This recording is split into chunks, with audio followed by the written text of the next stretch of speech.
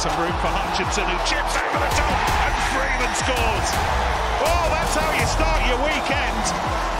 Another flat ball, and this time Smith's finding some space, and Diamani! It's fabulous. Jordan Larmour can't quite get there. Short, back with his scrum half. Caelan Doris this time. Doris gets it down.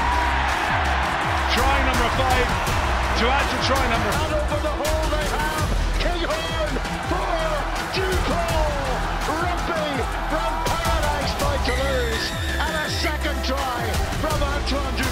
Jalibert up the inside. Penaud gives the pass. Jalibert with the try.